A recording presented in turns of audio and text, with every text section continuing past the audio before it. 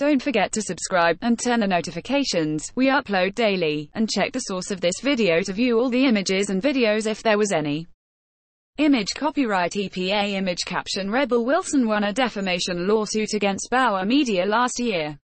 An Australian court has ordered actress Rebel Wilson to repay the majority of her record defamation payout from a magazine publisher. Wilson had received $4. 7 meters, 2 pounds. 6 meters, $3. 5 meters in damages and interest from Bauer Media over articles that she said portrayed her as a serial liar. But a court reduced the sum to $600,000 earlier this month following an appeal by the publisher. On Wednesday, Wilson was ordered to pay back $4. 1 meter and $60,000 in interest. She will also have to cover 80% of what Bauer spent on its appeal.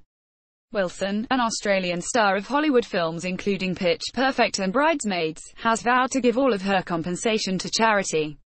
In its original finding, the Supreme Court of Victoria awarded her $650,000 in general damages and $3.9 meters for film roles she had lost out on. She was later paid $180,000 in interest. However the size of the payout, Australia's largest for a defamation case, was reduced significantly on appeal.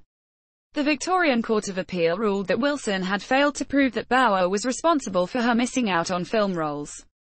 The actress wrote on Twitter at the time, that's now $4 million less going to less fortunate Australians and leaves a billionaire corporation, proven guilty of malicious defamation, being able to get away with their seriously harmful acts for a very low payday.